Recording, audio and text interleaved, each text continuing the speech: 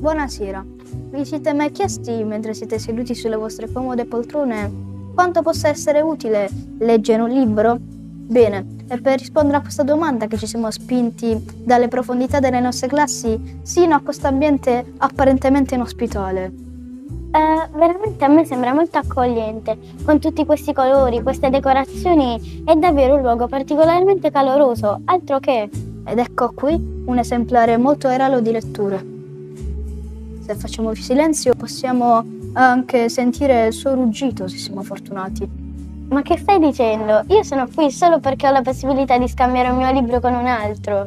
Questo è l'angolo del book sharing, in cui ogni alunno liberamente può venire qui per lasciare un suo libro e prendere un altro in cambio.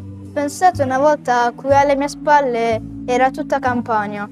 Adesso di quell'epoca ci restano solo strane incisioni e dei resti di Tyrannosaurus Rex.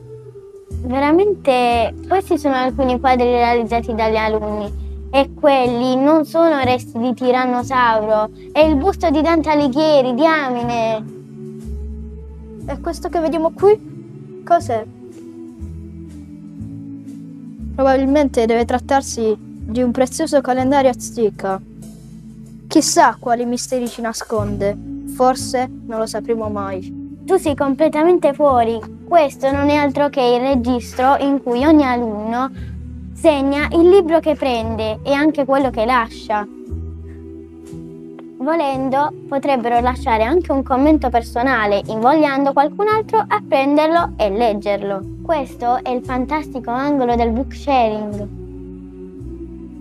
basato sulla lettura e momenti di socializzazione tra noi ragazzi. In questo modo tutti quanti possono prendersi cura di questo ambiente sapendo che tutti i libri non sono di nessuno, ma sono un patrimonio di tutti. Ed è con queste parole così ecunemiche che vi restituisco la linea, mentre io esamino questo manto erboso e su di esso questo albero secolare che se ne sta qui a passare gli anni.